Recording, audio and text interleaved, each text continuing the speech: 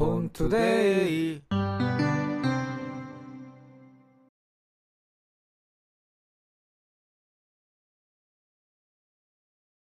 모티모의 아이폰 5 M톡 천연 소가죽 카드지갑형 다이어리 케이스를 소개해드리겠습니다. 제품을 개봉해보시면 이 종이로 싸여져 있는데요.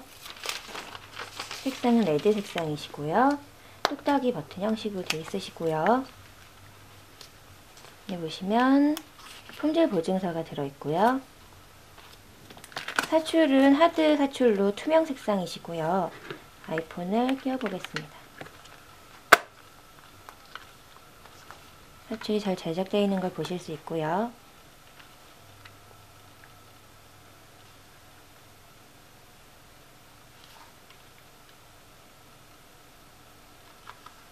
카드 수납 공간은 총 3군데가 있으신데요. 카드를 수납해 보겠습니다.